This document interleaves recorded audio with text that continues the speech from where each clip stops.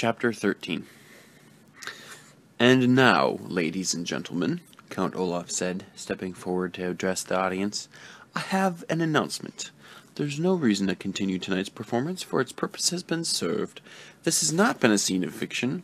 My marriage to Violet Baudelaire is perfectly legal, and now I am in control of her entire fortune. There were gasps from the audience, and some of the actors looked at one another in shock. Not everyone, apparently, had known about Olaf's plan. That can't be, Justice Strauss cried. The marriage laws in this community are quite simple, Count Olaf said. The bride must say I do in the presence of a judge like yourself and sign an explanatory document, and all of you, here Count Olaf gestured out to the audience, are witnesses. But Violet is only a child, one of the actors said. She's not old enough to marry. She is, if her legal guardian agrees, Count Olaf said. And in addition to being her husband, I am her legal guardian. But that piece of paper is not an official document, Justice Strauss said. That's just a stage prop. Count Olaf took the paper from Violet's hand and gave it to Justice Strauss. I think if you look at it closely, you will see it, it's an official document from City Hall. Justice Strauss took the document in her hand and read it quickly. Then, Closing her eyes, she sighed deeply and furrowed her brow, thinking hard. Klaus watched her and wondered if this were the expression Justice Strauss had on her face whenever she was serving on the High Court. You're right, she said finally to Count Olaf. This marriage, unfortunately, is completely legal. Violet said I do, and signed her name on this piece of paper. Count Olaf, you are Violet's husband, and therefore in complete control of her estate. That can't be, said a voice from the audience, and Klaus recognized it as the voice of Mr. Poe. He ran up the stairs to the stage and took the document from Justice Strauss. This is dreadful nonsense. I'm afraid this dreadful nonsense is the law, Justice Strauss said. Her eyes were filling up with tears. I can't believe how easily I was tricked, she said. I would never do anything to harm you children. Never. You were easily tricked, Count Olaf said, grinning, and the judge began to cry. It was child's play winning this fortune. Now, if all of you'll excuse me, my bride and I need to go home for our wedding night. First, let Sunny go, Klaus burst out. You promised to let her go. Where is Sunny? Mr. Poe asked. Oh, she's all tied up at the moment, Count Olaf said, if you will pardon a little joke. His eyes shone as he pressed buttons on the walkie-talkie and waited while the hook-handed man answered. Hello? Yes, of course it's me, you idiot. Everything has gone according to plan. Please remove Sunny from her cage and bring her directly to the theater. Klaus and Sunny have some chores to do before they go to bed. Count Olaf gave Klaus a sharp look. Are you satisfied now? he asked. Yes, Klaus said quietly. He wasn't satisfied at all, of course, but at least his baby sister was no longer dangling from a tower. Don't think you're so safe, the bald man whispered to Klaus. Count Olaf will take care of you and your sisters later. He doesn't want to do it in front of all these people. He did not have to explain to Klaus what he meant by the phrase, take care of. Well, I'm not satisfied at all, Mr. Poe said. This is absolutely horrendous. This is completely monstrous. This is financially dreadful. I'm afraid, however, Count Olaf said, that it is legally binding. Tomorrow, Mr. Poe, I shall come down to the bank and withdraw the complete Baudelaire fortune. Mr. Poe opened his mouth as if to say something, but began to cough instead. For several seconds he coughed into a handkerchief while everyone waited for him to speak. I won't allow it, Mr. Poe finally gasped, wiping his mouth. I absolutely will not allow it. I'm afraid you have to, Count Olaf replied. I'm I'm afraid Olaf is right, Justice said through her tears. This marriage is legally binding. Begging your pardon, Violet said suddenly, but I think you may be wrong. Everyone turned to look at the eldest Baudelaire orphan. What did you say, Countess? Olaf said. I am not your Countess, Violet said testily, a word which here means in an extremely annoyed tone. At least, I don't think I am. And why is that? Count Olaf said. I did not sign the document in my own hand, as the law states, Violet said. What do you mean? We all saw you. Count Olaf's eyebrow was beginning to rise in anger. I'm afraid your husband is right, dear, Justice Strauss said sadly. There's no use denying it. There's too many witnesses. Like most people, Violet said, I am right-handed, but I signed the document with my left hand. What? Count Olaf cried. He snatched the paper from Justice Strauss and looked down at his. His eyes were shining very bright. You're a liar! he hissed at Violet. No, she's not, Klaus said excitedly. I remember, because I watched her left hand trembling as she signed her name. It is impossible to prove, Count Olaf said. If you like, Violet said, I shall be happy to sign my name again on a separate sheet of paper with my right hand and then with my left. Then we can see which signature the one on the document most resembles. A small detail, like which hand you use to sign, Count Olaf said, doesn't matter in the least. If you don't mind, sir, Mr. Poe said, I'd like Justice Strauss to make that decision. Everyone looked at Justice Strauss, who was wiping away the last of her tears. Let me see, she said quietly, and closed her eyes again. She sighed deeply, and the Baudelaire orphans and all who liked them held their breath as Justice Strauss furrowed her brow, thinking hard on the situation. Finally, she smiled. If Violet is indeed right handed, she said carefully, and she signed the document with her left hand, then it follows that the signature does not fulfill the requirements of the nuptial laws. The law clearly states the document must be signed in the bride's own hand. Therefore, we can conclude that this marriage is invalid. Violet, you are not a countess, and Count Olaf, you are not in control of the Baudelaire fortune. Hooray! cried a voice from the audience, and several people applauded. Unless you are a lawyer, it will probably strike you as odd that Count Olaf's plan was defeated by Violet signing with her left hand instead of her right. But the law is an odd thing. For instance, one country in Europe has a law that requires all its bakers to sell bread at the exact same price. A certain island has a law that forbids anyone from moving, removing its fruit and a town not too far from where you live has a law that bars me from coming within five miles of its borders. Had Violet signed the marriage contract with her right hand, the law would have made her a miserable Contessa, but because she signed it with her left, she remained, to her relief, a miserable orphan.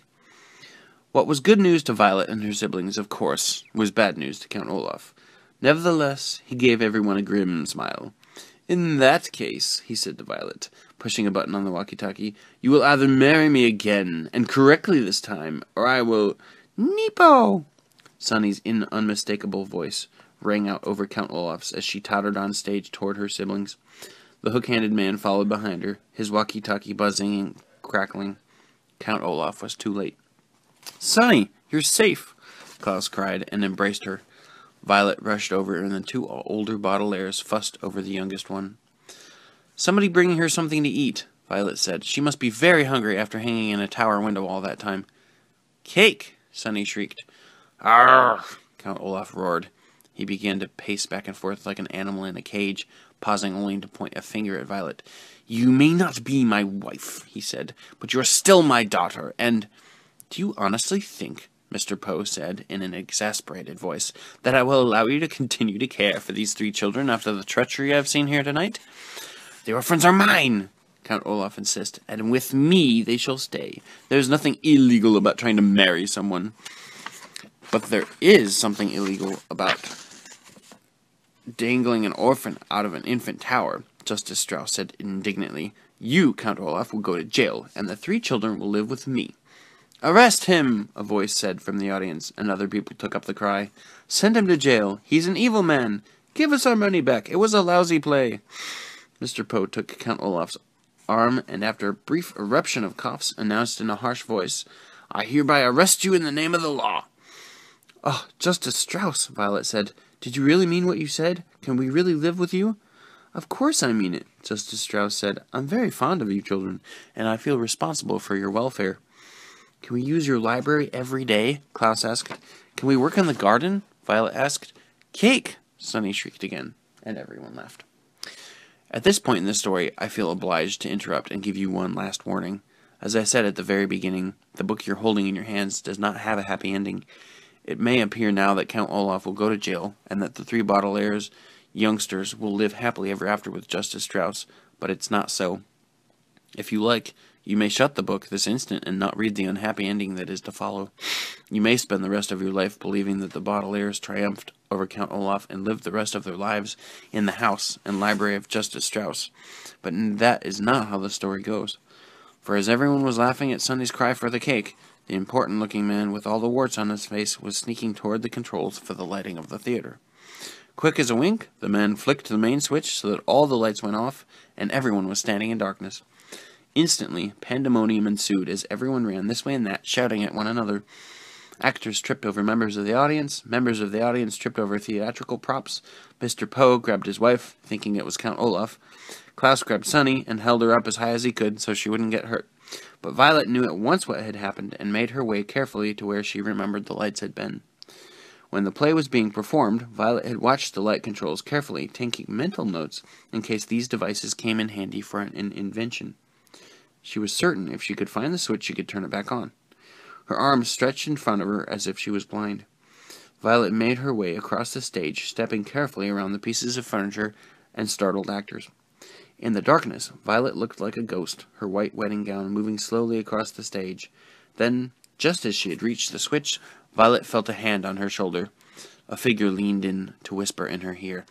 I'll get my hands on your fortune if it's the last thing I do, the voice hissed, and when I have it, I'll kill you and your siblings with my own two hands. Violet gave a little cry of terror, but flicked the switch on. The entire theater was flooded with light.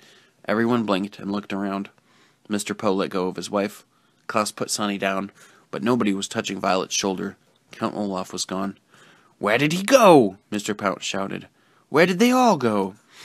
The Baudelaire youngsters looked around and saw that not only had Count Olaf vanished, but his accomplices the wart faced man, the hook handed man, the bald man with the long nose, the enormous person who looked like neither a man nor a woman, and the two white faced women had vanished along with him. They must have run outside, Klaus said, while it was still dark. Mr. Poe led the way outside, and Justice Strauss and the children followed. Way, way down the block, they could see a long black car driving away in the night.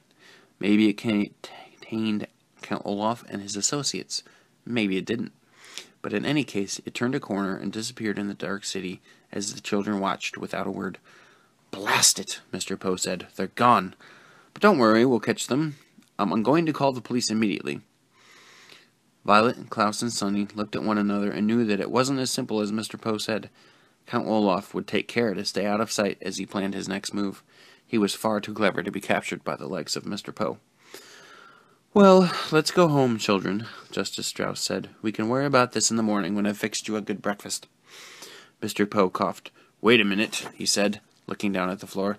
I'm sorry to tell you this, children, but I cannot allow you to be raised by someone who's not a relative. What? Violet cried. After all Justice Strauss has done for us? We never would have figured out Count Olaf's plan without her and her library, Klaus said. Without Justice Strauss, we would have lost our lives. That may be so, Mr. Poe said, and I thank Justice Strauss for her generosity, but your parents' will is very specific. You must be adopted by a relative.